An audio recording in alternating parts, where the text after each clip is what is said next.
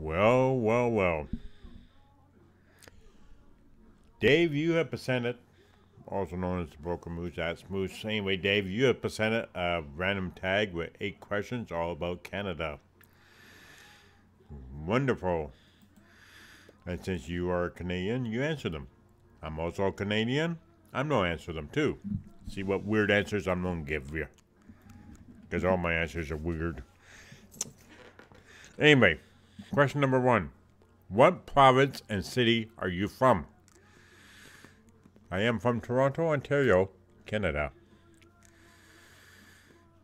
A um, iconic Canadian landmark or landscape is near you?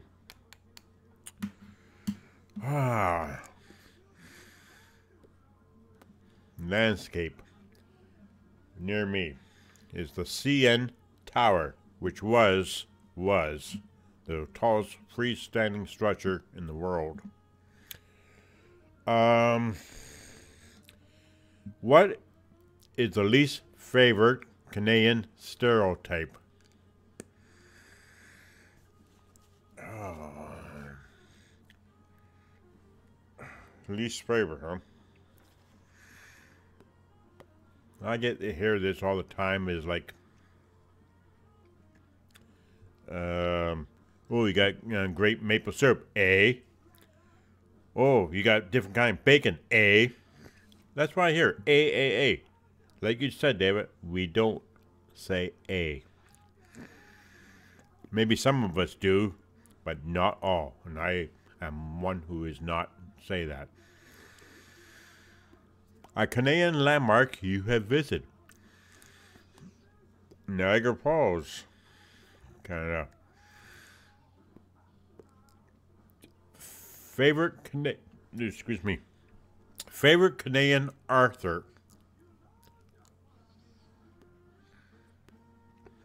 I don't really read any books, so Margaret Atwood. Um, Canadian actor, musicians, or performers, or and performers. Okay. Raymond Massey. Stomping Tom Connors. John Candy. The Who. Is it The Who or Burton Cummings? I can't remember. Rush. Justin Bieber. Yuck and many, many, many more. Raymond Burr, um, Perry Mason, or as Ironside, he was Canadian. Um,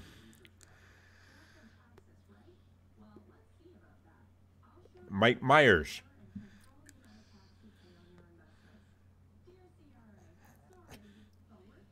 Uh, what's his name? Sullivan, uh, not Sullivan. Um, Oh, one. I can't even think, but there are many. At the moment, those are.